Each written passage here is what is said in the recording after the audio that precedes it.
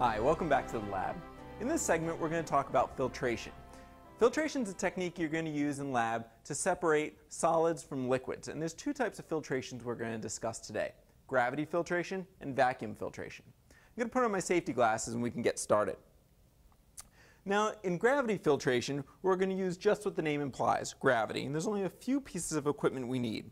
First, we need a flask, a funnel, and a piece of filter paper okay? And to start, I'm just going to put the funnel into the flask. And now I need to get my filter paper, which is going to filter our solid from our liquid, into the funnel. And of course, right now it doesn't fit. What we have to do is fold the filter paper, and we're also going to flute it. In the process of fluting, we're going to increase the surface area so the filtration is that much more efficient. So to fold the filter paper, I'm going to first fold it in half into a semicircle and form a crease, and then turn it and fold it one more time into quarters. So now I have a cone, okay?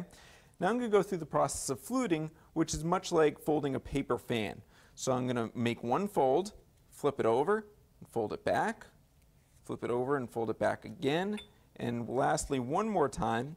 And again, what this is doing is forming a lot of sides to increase our surface area, okay? Now I can open that up into a cone-like shape, and we can put that inside our funnel. But you can see all these edges here uh, are going to help with our filtration. Okay? Now to stop it from popping out and make sure it's in place, I'm going to use a little bit of water, just squirt it around the sides, and that's going to stick the filter paper to the funnel. Now I'm ready to filter. What I have here is just a solution of sand and water, and I'm going to try to separate those with using gravity filtration. And as I stir it up, I'm going to pour the whole thing into solution, in this case getting that sand right into the filter paper. And you can see that this filters pretty quickly. The stand, sand stays at the top, and through the bottom you can see that the water, the clear solution, is just draining through. And again, gravity filtration is very good for a process like this because it's quick and doesn't require a lot of equipment. Now sometimes there are solids that are a little more uh, thick and hold on to water and a gravity filtration would take a lot longer to do so sometimes we're going to use a vacuum filtration. So let's look at that equipment. Okay, so if we look at our vacuum filtration there's a few more pieces that we need.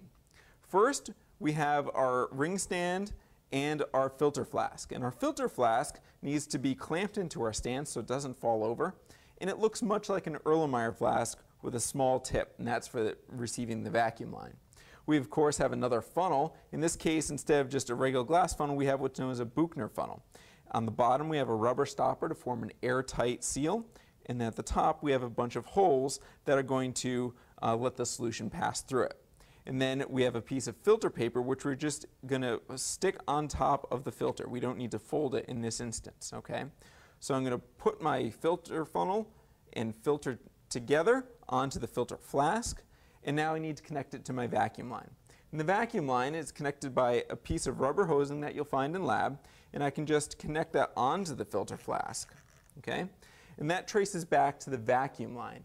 And you'll find these vacuum lines all throughout lab, and as I turn it on, you'll start to hear a vacuum being pulled. To make sure that we have the filter paper stuck well onto the funnel, I'm going to use water again to just wet it down and make sure it's stuck on there. Okay? And now I can begin to filter my solution. In this case, I have a cloudy white solution, which I'm trying to filter out. Okay? And I'm going to pour this into the funnel.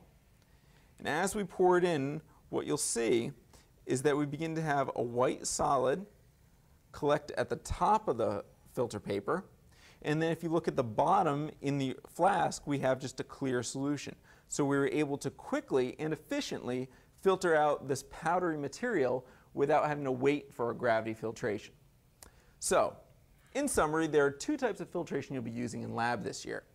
Both the gravity filter and the vacuum filter, depending on the application.